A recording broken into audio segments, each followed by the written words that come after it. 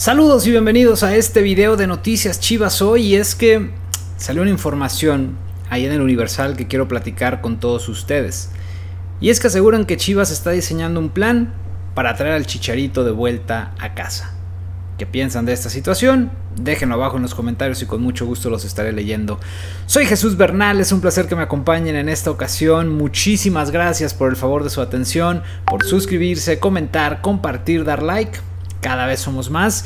Y bueno, pues sin más preámbulo, arranquemos con este video, con las últimas noticias de Chivas y el tema de la posible llegada del Chicharito.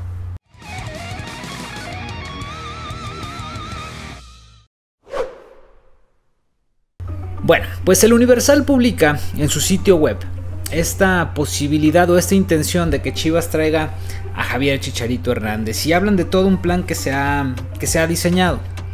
Ellos aseguran que eh, la directiva de Chivas eh, estaría analizando la posibilidad de pedir prestado al Chicharo en su último año de contrato con Galaxy eh, toda vez que acaba contrato en diciembre de 2022, o sea, le queda esta temporada y una más. Entonces Chivas planearía pedirlo prestado para el siguiente año. Ahí Chivas lo que pretende con el préstamo es asumir el 100% del sueldo del Chicharo. Y entonces quedárselo gratis una vez que culmine el contrato. A mí la verdad es que me parece no, no sé qué palabra utilizar, pero me parece eh, muy difícil que se dé esta situación, me parece algo eh, sumamente complicado. Primero porque el Chicharo es la estrella del Galaxy.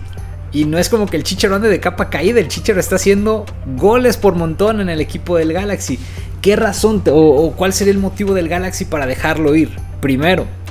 Segundo, Chicharo les debe de vender un sin fin de playeras al equipo angelino eh, con su número, es ídolo, lo quieren. Y tercero, el Chicharo gana 6 millones de dólares al año.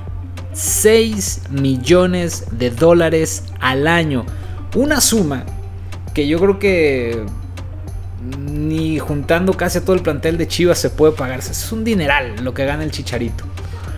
Entonces, eh, digo, no sé el, porqué de esta nota. Puede tener razón o pueden estar diseñando el plan. Eh, yo la única forma como lo vería viable es que de repente entre un patrocinador que sepa que se le van a incrementar sus ventas y, le diga Chivas va. Ahí está la lana, ¿no? Eh, no sé, Puma, por ejemplo, que es el de las playeras. Pudiera ser un escenario. Pero el asunto es, este, ¿no? Que, en realidad pues no es muy simple porque deportivamente en el Galaxy está muy bien y ni siquiera le hemos preguntado al Chicharo si a él le interesa regresar al equipo del Guadalajara. En un sinfín de ocasiones se ha encargado de desmentir esta parte de que si lo contactaron, que se hablaron con él, que si Chivas lo está buscando. Eh, yo en lo particular lo veo, lo veo difícil no solamente por el tema económico, que habría forma de resolverlo tal vez buscando o encontrando un patrocinador, sino por el plano deportivo porque lo está haciendo bien el equipo del Galaxy. Es un imán de taquilla para el equipo del Galaxy. Y pues en este negocio solo ganaría Chivas, porque el Galaxy no obtendría una ganancia y el Galaxy le pagó al Sevilla para comprar el Chicharo. Y después, eh, pues perderían a, uno de sus mejores jugadores, ¿no? Yo creo que es un tema complicado, pero bueno, se vale soñar, ¿no? Y si por ahí el Universal saca esta parte, pues algo sabrán o algo se está cocinando en ese sentido. Así es que, ¿ustedes qué piensan? ¿Qué opinan? ¿Lo ven viable? ¿No lo ven, viable? ¿Les gustaría? ¿No les gustaría? Pónganlo aquí abajo en los comentarios y ya saben, con mucho gusto los estaré leyendo. Luego de los pésimos resultados que ha tenido la filial de Chivas, que es el Tapatío, la directiva del Guadalajara ha anunciado que Alberto Coyote queda destituido de su cargo, no ha entregado eh, los eh, resultados que se esperaban. Si se han dado cuenta, ha venido una presión grandísima hacia el proyecto 70-30 encabezado por Marcelo Michele Año, que evidentemente no está dando resultados por ahora y se tomó la decisión de cortar el hilo por lo más delgado y darle las gracias a Alberto Coyote, un técnico que estaba en la 20, que lo asignaron ahí y que bueno, pues en ese sentido hizo la labor que hizo, pudo hasta donde pudo entregar. Eh, el torneo pasado, si mal no recuerdo, quedaron eliminados en, el, en la fase de repechaje. Entonces, eh, bueno, pues se tomó esta decisión y Alberto Coyote ha quedado desvinculado del equipo de Tapatío después de que a media temporada la escuadra de Guadalajara ocupe el último lugar de la liga de expansión. Por otra parte, el equipo de Chivas pues ya está listo para su compromiso de este fin de semana contra Pachuca. Hoy fue el último entrenamiento, los jugadores eh, ya trabajaron, Víctor Manuel Bucetich también. Se espera que no haya muchas modificaciones. En realidad, eh, pues el Rey Midas está contento con lo que ha visto en su equipo, con el desempeño que han tenido los jugadores, quedó satisfecho con el empate ante Pumas, no se diga con la victoria contra Necaxa, el empate con Monterrey. Eh, pues en general los últimos tres partidos le han gustado a Bucetich.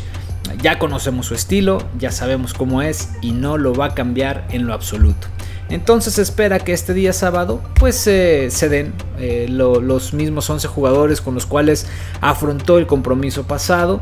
Eh, con Gudiño en la portería, Olivas, Briseño, Chapo, Mayorga, Torres y Molina, eh, Canelo Angulo por ahí, el Cone Brizuela, Uriel Antuna, que serían los jugadores y el caso de, eh, de Chuy Godínez, ¿no? Los que estarían eh, participando. Habrá que ver, también se abre esta posibilidad de que Oribe Peralta pudiera ser titular.